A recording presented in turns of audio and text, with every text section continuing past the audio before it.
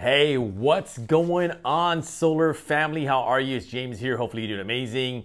And in this video, I want to go over what's a dealer fee and who pays for the dealer fee.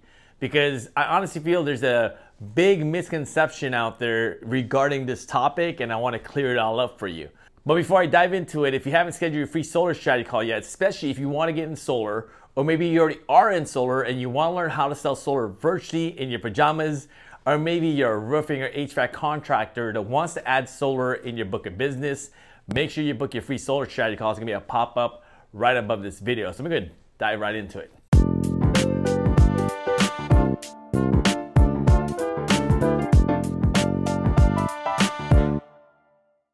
So before I dive into it, let me go over what a dealer fee is first. So a dealer fee is basically the fees that are paid to the bank to finance the solar system.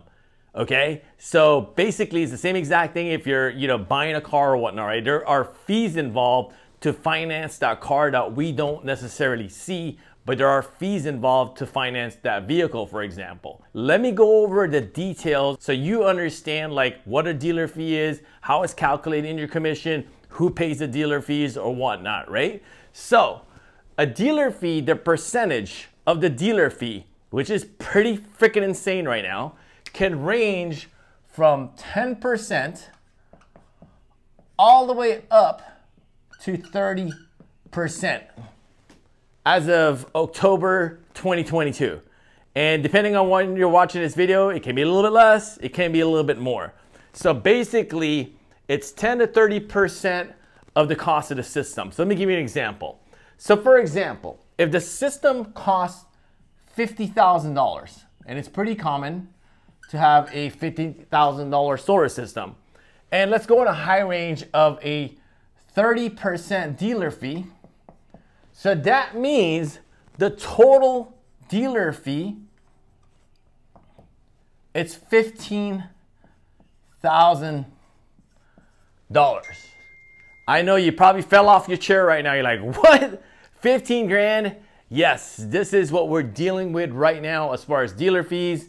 You may not like it like I do. Obviously, we need the banks to finance the system.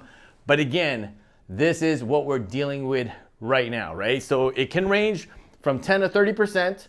And you're probably asking yourself, why is there a wide range?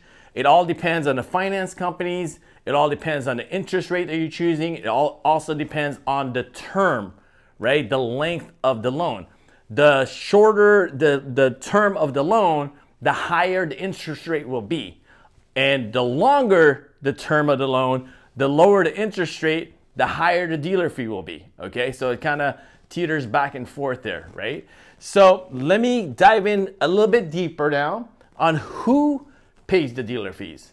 So the dealer fees are paid by the homeowner. And let me repeat myself again, because this is one big misconception that a lot of new reps go through. They're wondering like, who pays the fees? Do I pay for the fees? As you can see for this example, that's $15,000. So the answer to that question, who pays the dealer fees, is the homeowner, okay? The homeowner pays for the dealer fees. And I know it's pretty insane, but again, the homeowner pays for the dealer fees. So let me break this down for you as far as the total price per watt, okay? And if you don't know what a red line is, make sure you watch my other videos as far as the red line, right? I'm not gonna I'm not gonna go over it here. So for example, if your red line is two dollars and 50 cents a watt, and that's an example, and your margins, this is your profit, is a dollar per watt, okay? And that's the sweet spot, ideally, uh, you know, as far as margins. That's just a little tip there. Obviously, you can't always be like that, but again, that's just ideally where you want to be.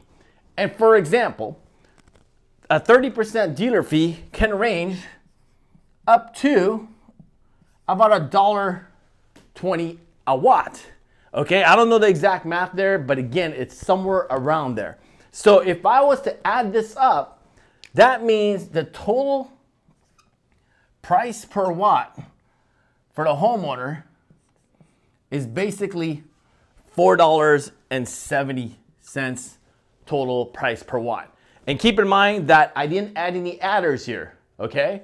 If you don't know what an adder is, that's another video that I made as well. But keep in mind, an adder is not added to every single deal, okay? That's why I didn't want to add it here. This is a best case situation without an adder. And if we had to add on an adder, obviously the total price per watt is gonna increase. So for example, if I had to upgrade the main panel, that would be an adder. If I had to replace the roof, if I had to do trenching, things of that nature, that would be an adder. It's not on every single job, but this is a perfect case scenario when there's not an adder. So basically, to answer the question, who pays for the dealer fee? The homeowner pays for the dealer fees.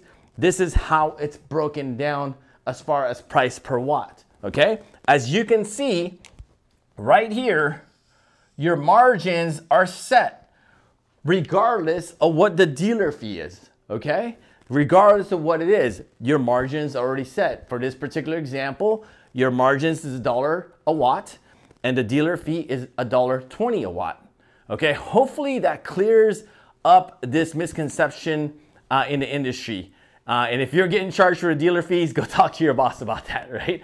Uh, ideally, the homeowner pays for the dealer fees. So if you want to dive in deeper and you want to get in the solar industry, or maybe you already are in solar and you want to learn how to sell solar virtually online in your pajamas, or you're a roofing or HVAC contractor that wants to add solar in your book of business, make sure to book your free solar strategy call. It's gonna be a pop-up right above this video. Other than that, have an amazing day. Goodbye for now. Peace.